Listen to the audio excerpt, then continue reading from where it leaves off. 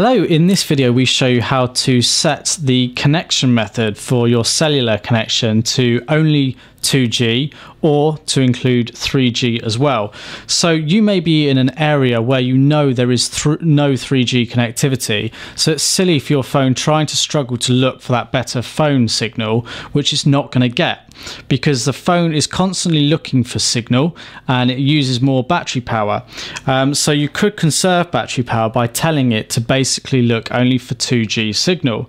Now to do that you need to navigate to your settings from the notification bar and you need to be under networks and towards the bottom you can have tethering and networks and then within this you've got the option for mobile networks if you tap that and then you've got network mode now if you tap on that and you'll see here that we've got four options and you can select which one that you want. So at the moment this device is trying to look for the best possible connections of GSM, 3G and LTE.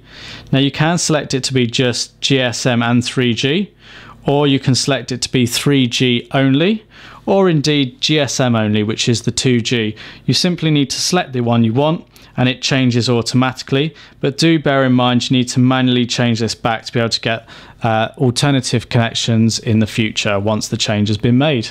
And that's how you change the network mode on the LG G2.